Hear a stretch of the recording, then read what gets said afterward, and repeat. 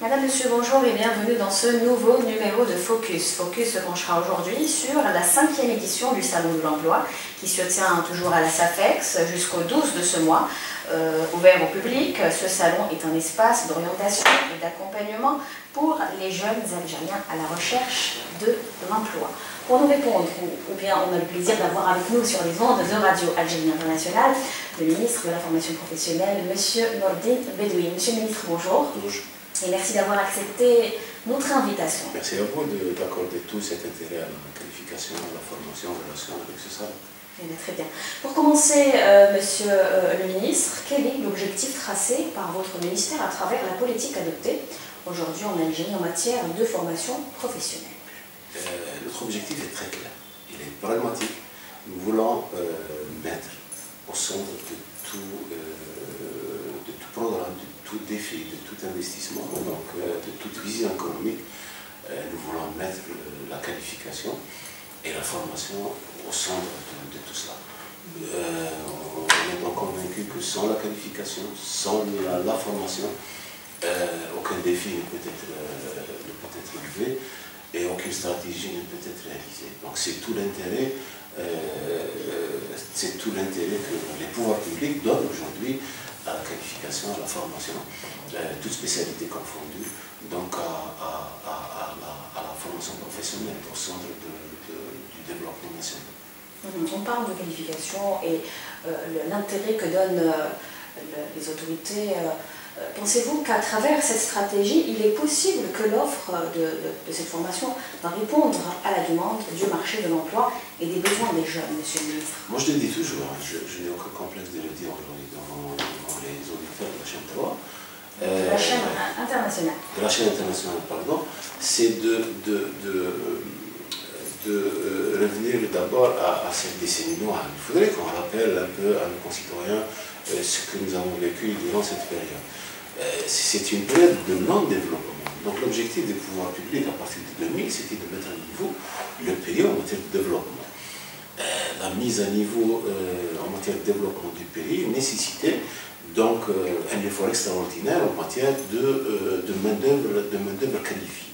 Donc quand on vous parle aujourd'hui de la réalisation de millions de logements, c'est normal que ce que nous avons euh, formé jusqu'à aujourd'hui, et entre parenthèses, l'année passée 2014, nous avons, avec le ministère de l'Habitat, formé plus de 75 000 jeunes dans les métiers euh, du, euh, du, bâtiment et des travaux publics. Est-ce que c'est suffisant? Je vous dis que ce n'est pas encore suffisant par rapport... C'est énorme quand même. C'est énorme, mais ce n'est pas suffisant par rapport euh, par rapport à, ce programme colossal donc, qui, est euh, en relation avec le secteur du bâtiment et, et travaux publics. Et on peut généraliser donc, cette, cette, cette vision et cette manière de, faire à l'ensemble des autres secteurs. Donc nous sommes pratiquement dans une course contre la mort pour, pour mettre à niveau notre pays en matière de main-d'œuvre qualifiée qui doit couvrir euh, l'ensemble des, des, secteurs. Et, nous avons aujourd'hui un, potentiel extraordinaire, un potentiel de plus de 1200 établissements. Nous devons encore travailler, nous devons, mais euh, pour euh, former, il faudrait que l'environnement économique soit un partenaire rentable pour nous dans les pays développés. Vous prenez l'exemple allemand, vous prenez euh, l'exemple européen d'une manière générale. L'entreprise de réalisation, l'entreprise économique est aussi un espace de formation, mhm. avec des systèmes, avec des modes de formation que nous commençons à adopter chez nous, qui sont le, mode dual ou le mode d'apprentissage en France. Donc chaque, étape, chaque unité industrielle, chaque unité économique doit également jouer le rôle de euh, formateur euh, par rapport au potentiel donc, de moyens euh, techniques et, mécaniques qui existent au niveau de ces, de ces euh, entités économiques et par également cet accompagnement pédagogique qu'offre le secteur de la formation et de l'enseignement professionnel. Et comment justement optimiser cette orientation des jeunes en formation de la demande du secteur éco Comment Réellement? Vous savez, moi je l'ai dit tout à l'heure, on était avec le secteur des ressources en eau. nos jeunes aujourd'hui, ils sont très très ambitieux. Ils sont très ambitieux, mais ils sont également plus intelligents, même, même, même, même que nous. C'est eux maintenant qui, qui, euh, qui font euh, au préalable euh, des recherches, d'abord par rapport à ce qu'ils veulent être pour assurer leur avenir, mhm. par rapport aux métiers qu'ils veulent dispenser, qu'ils veulent apprendre, et par rapport, du, par rapport au rôle qu'ils veulent, eux, jouer dans le, monde économique. Donc vous avez des jeunes qui, ont des penchants pour les métiers, par exemple, du bâtiment public. Vous avez des, techniciens dans le technicien, des techniciens dans, en matière de génie civil, par exemple, en matière de, toute spécialité dans les métiers du bâtiment que nous, que nous, dispensons au niveau de nos établissements, notamment au niveau de Cuba. Et vous avez, euh, vous avez beaucoup de jeunes, nous avons plus de 1900 jeunes qui se forment pour, être, pour devenir des techniciens et techniciens euh, supérieurs dans les métiers du bâtiment. Est-ce que les 1900 euh, que nous formons aujourd'hui au niveau d'Alger vont besoins vont répondre? Moi je vous dis tout de suite non. C'est pour cela que nous travaillons pour élargir ce réseau de formation au niveau national. Et ça, ça répond justement à un besoin exprimé par nos jeunes. C'est eux qui demandent ce, genre de formation. Parce que nos jeunes, aujourd'hui, ils sont conscients quel est le créneau qui, qui leur puisse euh, leur assurer euh, un, emploi. un emploi, mais plus que ça, qui puisse leur, leur assurer donc la création de petites entreprises en relation avec les différents dispositifs que vous avez vus euh, qui sont présentés aujourd'hui au niveau euh, du salon de l'emploi. Vous avez euh, également des jeunes qui s'intéressent par exemple aux, métiers, aux arts graphiques, aux métiers du tourisme. Vous avez beaucoup de jeunes de, de l'intérieur du pays, du Grand Sud, qui s'intéressent dans les métiers, dans les métiers de, du tourisme, parce qu'il y a un potentiel touristique au niveau du Grand Sud qui puisse leur permettre euh, de, de, créer leur, petite entreprise ou de trouver euh, un emploi. Mais je vous le dis encore une fois, et ça c'est entre parenthèses, il faudrait que les jeunes, nos jeunes le sachent, plus de 80% de nos jeunes issus des établissements de formation sont, sont aujourd'hui euh, employés dans le monde du travail. Ils sont aujourd'hui dans le monde du travail, soit d'une manière directe dans des entreprises euh, toutes spécialités confondues, ou par le biais de la création de ces petites entreprises euh, qui sont euh, devenues également un espace ouvert aux jeunes apprentis, donc qui participent également à la, France, à la formation. Et je le dis, je profite de cette, de cette occasion, de, cet, entretien, cet entretien pour rendre hommage à ces petites entreprises qui sont les premiers à, à, ouvrir leurs portes à nos apprentis en moyenne, il y a deux apprentis par, petite entreprise, ce qui nous a poussé euh, dans cette vision d'accompagnement et d'aide à ces jeunes. Donc nous avons décidé euh, de, les aider, d'aider ces petites entreprises donc à prendre en charge financièrement la période de, de, ce stagiaire-là. De ce stagiaire par, le, par le biais du Fonds national de développement de la formation continue et de l'apprentissage. Ça, c'est un élément très très important. C'est une instruction du Premier ministre du gouvernement et que nous euh, sommes enclenchés, donc engagés à la euh, réaliser. Eh ben, très bien. Justement, vous, m'avez parlé tout à l'heure, Monsieur le ministre, du secteur du bâtiment. Euh, les jeunes Algériens s'intéressent de plus en plus à la formation professionnelle vu la diversité de la nouvelle nomenclature. C'est bien cela. Ils s'intéressent à la coiffure, ils s'intéressent aux arts graphiques. Et comment on fait? Est-ce que ces jeunes qui, euh, qui, se forment, oh, qui sont embauchés, une femme au foyer par exemple, ou une demoiselle, elle a l'occasion, elle a la chance d'être formée. Est-ce qu'elle pourra justement trouver un moyen de travailler plus tard D'abord, je voudrais, je voudrais, dire, je voudrais parler, dire un mot euh, euh, pour la nomenclature. Donc c'est une nomenclature aujourd'hui qui dispense plus de 422 spécialités. sur les différentes filières. Sur les différentes euh, filières qui sont 22 branches de, de spécialités. Mm. Mais plus intéressant que cela, c'est que cette nomenclature est toujours dynamique. Donc aujourd'hui, nous avons à rajouter, suite à la rencontre que nous avons avec le secteur des ressources en eau, nous avons injecté six nouvelles spécialité pour les métiers de l'eau, à titre d'exemple. Et là, c'est une, une nomenclature qui est toujours dynamique, qui n'est pas limitative. Donc nous sommes à l'écoute de notre environnement économique, de nos partenaires départementaux au niveau des différents ministères, mais surtout de nos euh, partenaires euh, qui représentent donc, les différents secteurs économiques. Donc vous avez suivi avec nous la dernière fois l'introduction des métiers de la vente qui n'existaient pas en Algérie. Euh, c'est des métiers euh, donc, qui sont nouveaux euh, pour nous. Nous sommes en train de travailler avec le secteur de la santé, le secteur de la protection sociale pour injecter des spécialités de l'intérieur de, des foyers. Et, ça, c'est des métiers qui existent d'ailleurs dans les, autres pays qui n'existent pas chez nous. C'est pour ça que je dis que c'est une nomenclature qui est toujours ouverte, qui est toujours dynamique, c'est une nomenclature qui doit euh, normalement euh, répondre au fur et à mesure donc, à ces besoins économiques qui sont, euh, les différentes qualifications. Vous avez cité maintenant l'exemple, vous avez donné l'exemple de la femme au foyer je vous ai répondu par l'introduction de ce genre de métier. Mhm. Vous avez aujourd'hui des femmes au foyer qui ne font absolument rien, qui sont euh, négatives dans la société. Marginalisées, si on peut dire. pas marginalisées. Pas marginalisées, mais parce qu'on ne leur a pas donné la possibilité euh, de, de, qu'ils soient introduits, introduits dans la société. Mais avec, à titre d'exemple, avec ce genre de métier, une femme euh, qui est euh, au foyer aujourd'hui pourra par la suite créer sa petite euh, entreprise ou répondra donc aux besoins économiques qui est par exemple l'accompagnement des personnes âgées, le, les, métiers en relation aujourd'hui. Moi, un couple qui travaille, il n'a pas la possibilité, sa femme n'a pas la possibilité de, de, repasser, de le faire, de faire, de faire.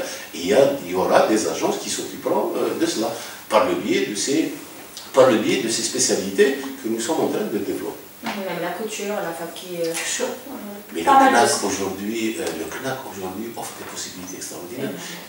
L'essence de ce que fait le CNAC aujourd'hui, il est destiné justement à cette catégorie de femmes au foyer, mhm. euh, avec les crédits qu'il accorde pour l'acquisition de petites machines à coudre ou machines je ne sais pas, dans n'importe quelle spécialité, ils permettent à ces, jeunes, à ces femmes au foyer de, de, créer leur petite euh, entreprise et puis euh, euh, qui, qui, ces entreprises qui, pourront par la suite booster, et participer donc à la, à, la, dynamique économique du pays.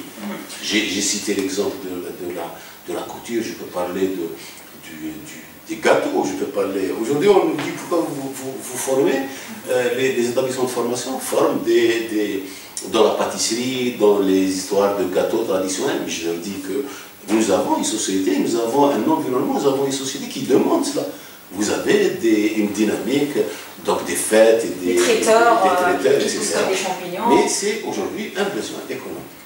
Monsieur le ministre, en parlant de la diversité de la nouvelle nomenclature, est-ce qu'il existe un nombre suffisant de centres ou écoles de, formation aujourd'hui? Est-ce qu'ils sont suffisants Justement, parce qu'il y a plusieurs filières, il y a plusieurs nouvelles Vous avez, vous avez aujourd'hui à travers le territoire national 1200 établissements, chose qui est extraordinaire.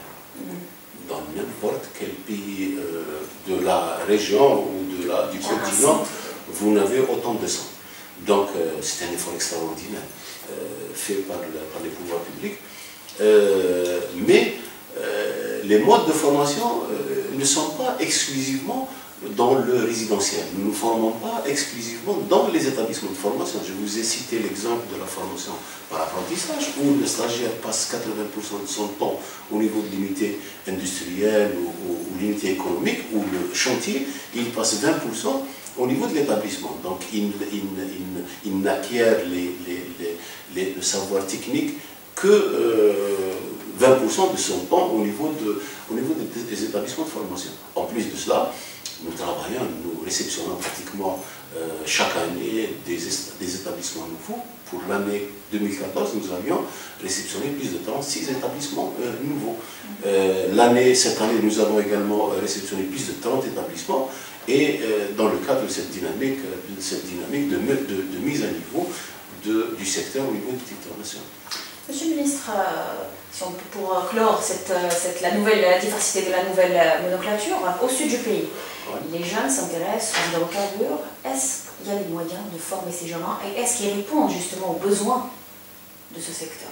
Vous savez, moi j'ai été à Hassan j'ai été à Drar, j'ai été un peu partout à travers le sud et je vous le dis aujourd'hui qu'il y a des potentialités extraordinaires ce que nous avons formé jusqu'à aujourd'hui, c'est euh, ne répond pas aux besoins économiques euh, actuels. Mhm. Ça veut dire qu'il y a un besoin euh, d'une main-d'œuvre qualifiée aujourd'hui au niveau de ces grands chantiers, que ce soit dans le, domaine des hydrocarbures et, autres.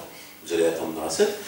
Nous, nous, avons ouvert des spécialités en relation avec, avec l'or que nous devons, qui est donc une matière première et qui existe au niveau de, de Donc c'est, nous sommes loin Donc, nous sommes loin par rapport aux besoins économiques d'aujourd'hui. La recommandation que je donne à nos jeunes, vous, vous trouverez beaucoup de jeunes qui vous disent qu'il n'y a pas de boulot, qu'il n'y a pas de travail. Moi, je leur dis que le travail y est, à condition. Qui est la volonté Et la volonté et, fasse l'effort d'apprendre. Parce qu'il faudrait que les jeunes sachent que les, deux ans, les trois ans de formation, c'est un investissement pour lui. Et c'est un investissement pour le pays sur le plan économique. Donc les possibilités d'emploi existent au niveau du grand sud du pays, à condition que les jeunes se rapprochent des établissements de formation, s'intéressent à la formation, ils considèrent, ils doivent considérer que la période de formation est une période euh, d'investissement pour eux qui, vont, euh, qui, vont, qui doit leur permettre d'assurer un poste de travail et d'assurer plus, d'assurer même une vision d'entrepreneuriat qui leur permette de créer une petite entreprise. Pourquoi mhm. Une dernière question, Monsieur le Ministre. Alors, quels sont les objectifs à long terme pour, ce, pour que ce secteur soit complémentaire réellement dans le développement économique du pays? La vision, la, vision pour les, années à venir, c'est c'est cette grande bataille que nous menons pour que l'ensemble euh, des partenaires, que ce soit institutionnel, que ce soit économique, que ce soit à caractère euh, social, soient présents avec nous. Mhm. Cet accord cadre qui a été signé euh, le mois de septembre de l'année passée, sur l'orientation de, M. le Premier ministre, nous a permis, nous a permis de dynamiser donc, cette, cette, cette vision. Et notre bataille également, c'est que chaque secteur, chaque établissement économique, chaque entité économique plutôt, chaque, euh, chaque projet mhm. euh, place au centre de, de, sa stratégie euh, la qualification de la ressource humaine et la qualification en matière, de, en matière de, formation. Notre vision également, et ce que nous, ce que nous faisons pour l'avenir, c'est l'excellence. C'est de mettre à niveau nos formations par rapport aux normes universelles. Et quand je parle des normes universelles, ça, touche, euh, ça touche également la formation de nos formateurs, donc euh, qui, euh, qui est complémentaire avec cette vision d'excellence. Nous allons ouvrir le premier institut d'excellence le mois de septembre prochain avec la société Schneider. Nous allons, Schneider, nous allons ouvrir notre deuxième établissement d'excellence au niveau de Constantine avec Massif Ferguson pour la, les techniques de mécanique de mécanique. Nous allons également avoir un établissement d'excellence au l'Université de Abbas pour le machinisme agricole. nous allons donc continuer à faire, à faire cet effort de, euh, de, nous mettre à niveau par rapport aux normes internationales. Nous allons également euh, travailler pour les années à venir à inculquer cette culture euh, de formation continue chez nos chefs d'entreprise. Et nous allons soumettre prochainement euh, un projet de loi au gouvernement qui concerne la formation continue. Il faudrait qu'on explique à nos travailleurs qu'ils ont un droit d'être formés, euh, que euh, leur employeur doit, ah, leur, consacrer, doit leur consacrer ce qui, ce qui est appelé au niveau universel le congé formation. Ça, c'est un droit également. Donc c'est cette vision de mise à niveau que nous sommes en train de, travailler, de travailler. Nous allons également ouvrir le dossier pour quelques autres euh, points que nous considérons importants lors des prochaines assises que nous avons organisées euh, au niveau d'Alger. Il faudrait savoir que nous avons organisé au niveau local les premières assises. Euh, nous, avons, nous sommes montés au niveau régional pour essayer d'extraire les, recommandations et nous allons finaliser donc, le travail au niveau de, ces ce conseil, de, ces assises au niveau national qui vont être organisées les semaines à venir. On peut avoir date? Ce n'est pas encore. Euh, ce n'est pas encore. Ils sont pas fixés encore. Voilà, ils sont pas encore Vous pas encore fixé la Mais euh, probablement dans les deux mois à venir, avant, le, avant la fin du mois de mai. Très bien, avant le. Inch'Allah. Inch'Allah. Monsieur le ministre, merci beaucoup d'avoir accepté de répondre à nos questions. Un mot pour, un dernier mot pour les auditeurs de Radio Algérie International Le dernier mot, d'abord, il vous est destiné à la chaîne, à la chaîne internationale. Euh, de, l'intérêt qu'elle accorde à la qualification et à la formation de notre jeunesse, à la, à formation de nos euh, citoyens moins jeunes, parce qu'il y a un principe universel aujourd'hui euh, qui parle de la formation tout au long de la vie. Donc la formation, la formation, la formation. Il faudrait également qu'en s'adressant à, nos jeunes, leur dire que la clé est entre vous. La clé, c'est l'établissement de formation. La clé, c'est votre qualification, c'est votre diplôme et qui, peut, qui puisse vous assurer euh, votre avenir. Il n'y a, il a aucune autre euh, solution. La solution, c'est d'apprendre, c'est d'avoir un métier euh, qui doit vous permettre de garantir et d'assurer votre, votre... Leur avenir et l'avenir du pays. Et l'avenir du pays. Et je vous remercie encore.